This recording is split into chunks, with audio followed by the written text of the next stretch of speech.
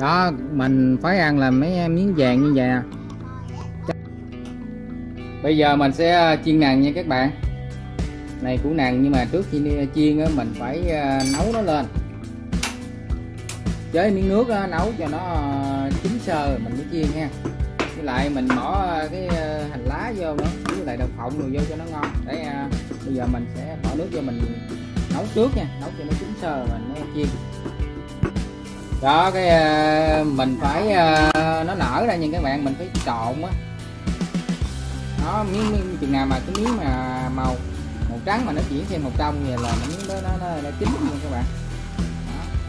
cái đảo ra này nó nở nha. Nó cái trộn như nè rồi xong rồi mình mới bỏ dầu vô. Trái không các bạn? À, thêm nước không? Từ từ.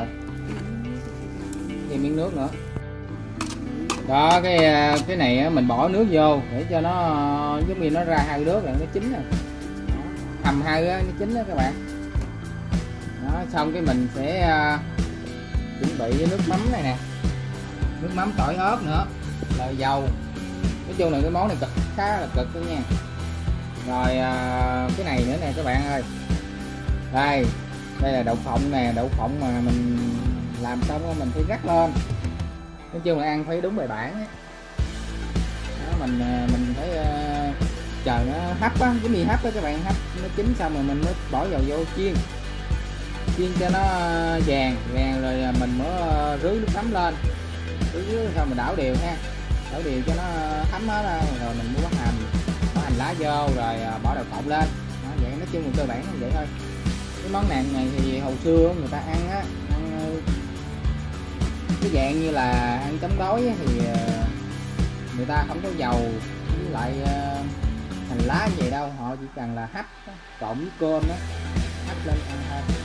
Chứ không có dạng như là bỏ đồ cộng bỏ hành lá để cho nó như vậy như là không có điều kiện các bạn. Nghèo á, nói chung là nghèo á, không có điều kiện để mà làm như vậy.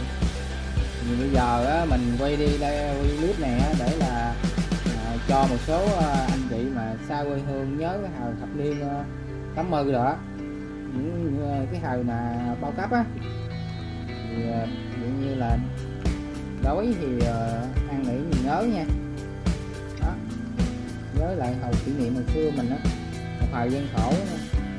đó, nói chung là vậy thôi chứ cái món này bây giờ mà nói chỉ có dân miền đông rồi mấy mấy dùng mà kháng chiến rồi á thì người ta biết thôi còn mấy à, mấy cái dùng mà chỗ khác là người ta không biết cái củ nàng này đâu.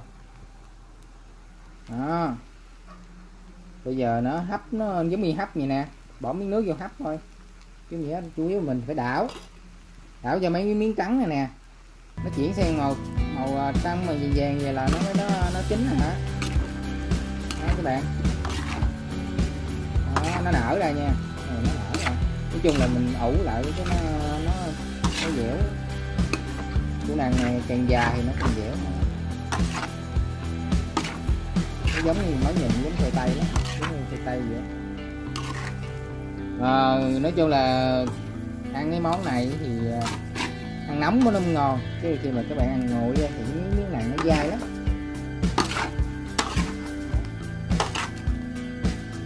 Nói chung là mấy chỗ mà cái này cây này thì nó nó sống theo rừng đó thì rừng ờ, với lại mình trồng mới có nha chứ bây giờ nó trôi quá nó đâu có còn nữa đâu.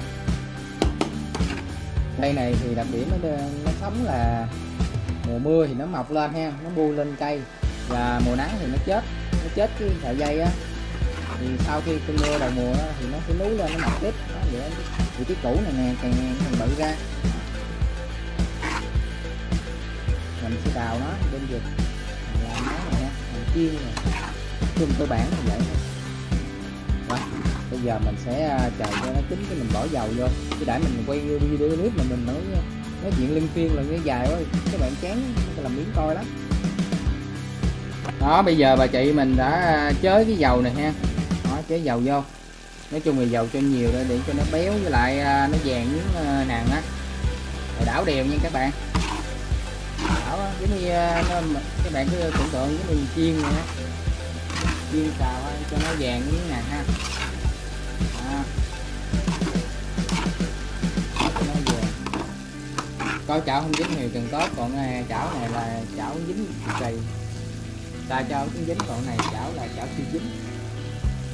À, đảo cho nó đều nha các bạn. Rồi uh, cho trời cho nó vàng xong cái mình sẽ rưới mắm lên ha đó, bây giờ à, mình sẽ rưới nước mắm tỏi ớt vô ha. Nói chung là nên nước mắm này mình phải làm cho nó ngọt ngọt tới nha. Mình mặn mặn nó vậy á. Rưới nước mắm lên ha, để mình quay gần miếng xíu xíu nó mấy nàng mà nó trái trái này, vậy chứ hay ăn giòn ngon lắm. Rồi đảo đều ha. Đảo đều xong cái cho nó thấm à, nước mắm xong cái mình mới à, bỏ cái hành lá vô.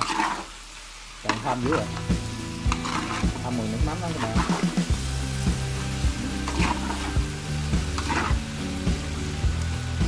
Rồi, bây giờ mình sẽ cho cái hành lá các bạn.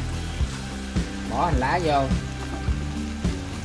Đó, bỏ hành lá mà, hành lá mà đừng cắt nhuyễn quá nha. Cắt phải ờ, dài dài miếng cho nó đẹp. Rồi, mình đảo đều luôn. Đảo đều nhé cho nó ờ, đều hết cái ờ, cái hành lá rồi xong cái mình có ăn đậu phộng thì bỏ vô cho nó bùi bùi thơm. Rắc không từ à, ít thôi chứ nhiều quá. Hao đó bỏ đậu phộng nữa ha. Ai ăn ờ, nhuyễn thì bầm nhuyễn còn ai ăn ờ, hộp thì để đi hộp. Đó cái đó nói chung là vậy thôi. Rồi đâu ai? Nhiều quá. Rồi trộn đều nữa là bắt đầu mình đem ra bàn mình ăn thôi. Đó các bạn? Nói chung là khi mà mình ăn mà mình cảm thấy nó lạc quá thì chế ờ, rưới nước mắm lên. Ờ, không thì ờ, để thời ăn ha. Đó, mình rất ngon luôn các bạn. Hàng mấy miếng trái mới ngon. Miếng trái nó giòn. Rồi ok tắt bếp nha các bạn. Khi mà mình ăn mà không vừa thì mình rưới nước mắm này lên. Đó mình phải ăn là mấy ờ, miếng vàng như vậy nè trái trái gì để ăn mới ngon nha các bạn. Để mình nhai thử cho các bạn nghe nha ừ, nó miếng trái về ăn giòn. Lửa lớn rồi con tắt lửa à? Nó mấy miếng vàng như vậy nè nó trái á khi mà các bạn ăn ấy giòn. Nhưng mà tốn dầu dữ lắm á. Cái mình rửa nước mắm lên không nước mắm vô thì nó mặn mặn ngon. Ừ. Nó miếng vàng như vậy.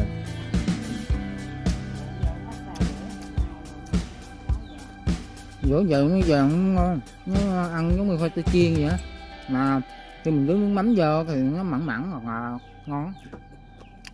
Ừ.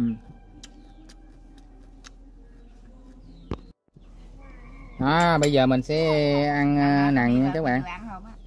Khi mà không vừa thì mình sẽ à, sẽ thêm nước mắm vô ha các bạn. Đó nói chung là cái này ăn chống đói nha các bạn.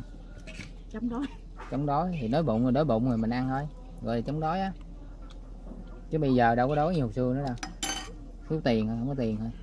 Rồi video mình uh, chia sẻ cái món nằng uh, chiên nha. Đến đây kết thúc Ủa, dạ, như ăn còn hết như